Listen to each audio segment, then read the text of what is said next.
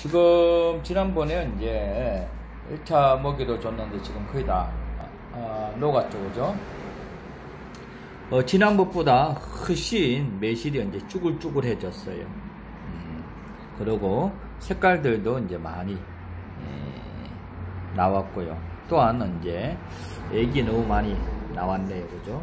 근데 지난번하고 확연히 다른 것이 이제 매실 자체가 굉장히 이제 어, 쭈글쭈글 해져 있다라고 하는 부분이에요.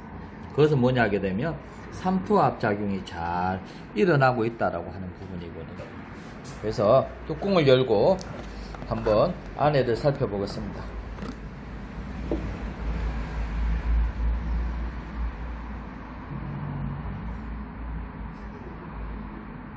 어떠세요? 어, 발효가 잘 진행이 되고 있습니다. 요게 지금 음, 오늘이 6월 13일이죠. 어, 한 15일 정도 돼가는 것 같습니다. 15일? 어, 15일 정도.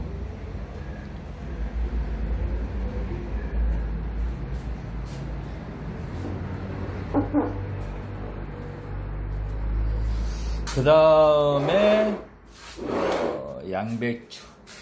어, 물이 굉장히 많이 나오고 어, 발효가 지금 잘 일어나고 있는 것이 보이시죠? 그죠? 어, 거품이 이제 예, 많이 나기 시작을 했습니다.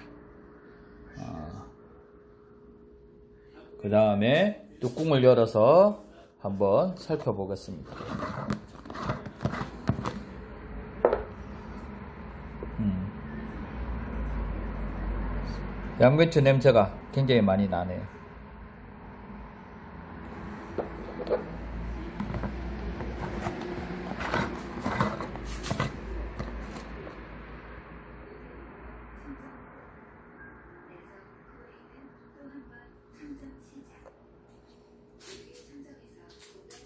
옆에 있는 것은 이제 오미자.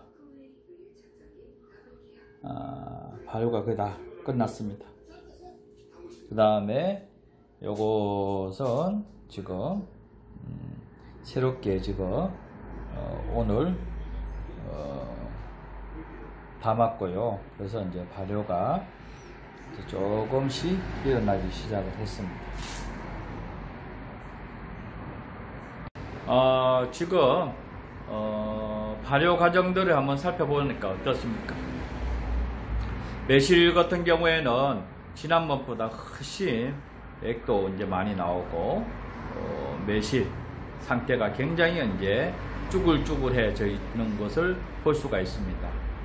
아, 또한 굉장히 맑죠. 액 자체가 맑죠.